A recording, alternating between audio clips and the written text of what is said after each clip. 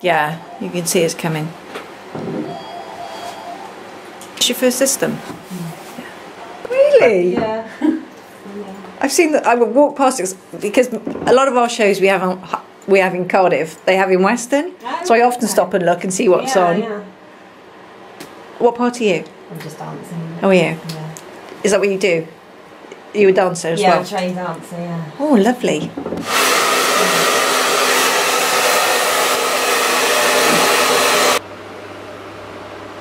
How curly is it then? Oh, Really? curly, curly. Is it? Yeah. Oh. No, really curly. um, my friend's brother. Got a hair transplant. I didn't know. Has it worked? And it was years ago. And yeah, it's only because my hair's fallen out. He said, oh, can I tell you something? I was like, Did you? Yeah, well, we had, we had it in a church. And then we had the, um, the afternoon in the, the, we hired a villa basically for my family staying, so we had it in the garden. And enjoyed the scene. Yeah. Yeah.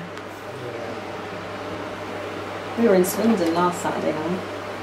That pub we were. You won't get your, so your Polly at work says, I, always, I know he says things and I think, Is he joking? Serious? Yeah. No, I'm really gullible. No, If you he's being serious. If you tell me something, I'm like, really? yeah, I'm, I'm not good. I think it's because English people are quite sarcastic in how they say things, whereas their all culture's good. not.